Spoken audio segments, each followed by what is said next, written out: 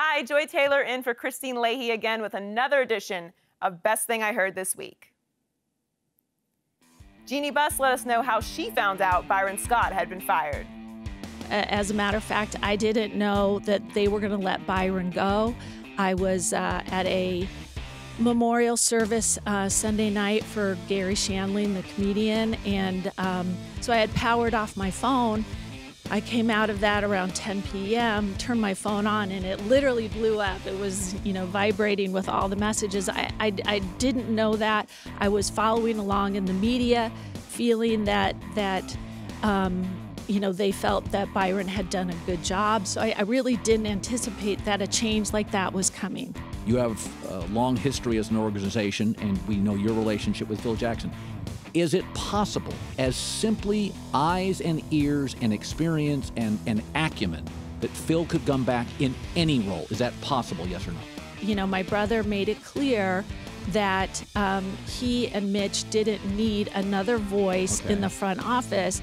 And it wasn't really necessarily about Phil, it was that they didn't need any other voice in the front office. Roger Goodell told us his opinion on the impact that Tom Brady's suspension will have on the league. What it is is reinforcing uh, the commissioner's authority and the, the league's authority that we negotiate our collective bargaining agreement. It also reinforced the underlying facts of the case, the process that we engaged in, uh, the fact that we had a fair process, that the that we looked at the facts fairly, including the destruction of evidence, and came to a, a reasonable conclusion.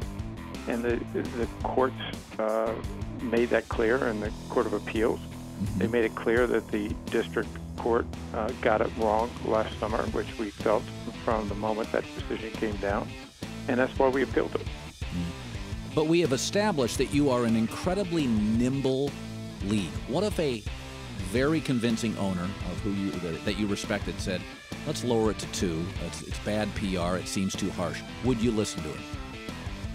I listen to everybody and and try to get take all those. But we've had these discussions. Uh, you know, this this was an issue just about a year ago. Yeah. Uh, I think right after I left the draft and you know, when, when we make these decisions, yeah. it's with a tremendous amount of thought, a tremendous amount of consideration.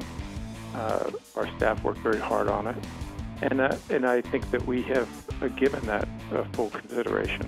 Uh, and we're, we're careful, and this is where you know, the commissioner's authority is important. We don't allow individual clubs to influence an outcome. And entrepreneur Chris Sacca talked Uber and some of the other ventures he missed out on. You know, the best products in the world appear simple on their face because all the complexity is embedded in the technology. And so the best products in the world are as easy as, hey, open the app, push a button, a car comes and picks you up and takes you anywhere in the world you want to go. That requires an incredible amount of science. You know, I think of Uber as the largest math problem in the world. If you think about the millions of drivers and the millions of atoms it's moving around to move both people and now food and packages around the planet, that's a huge math problem, and Uber is light years ahead of everybody else in the space. Um, listen, I have had friends who have done some angel investing. If you can hit one of 10, you feel great. Have you missed on one big? I've missed on tons big. Uh, you know, I, the Airbnb guys, I was one of the first people to see their pitch where you would rent out another room in somebody's house while they were still there, and I pulled them aside and I'm like, this is really dangerous. Somebody's going to get raped or murdered, and the blood's sure. going to be on your hands. So that cost me probably a billion and a half dollars. Uh, oh my God. I remember telling the Dropbox guys that G Drive, the Google product, was going to crush them. Uh, the Snapchat guys came up to me here in LA after a talk I gave once and said, "We really admire you.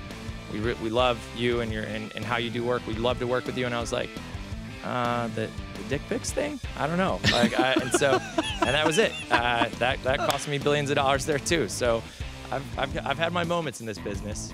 This has been Best Thing I Herd This Week. Tune in weekdays at noon Eastern on FS1.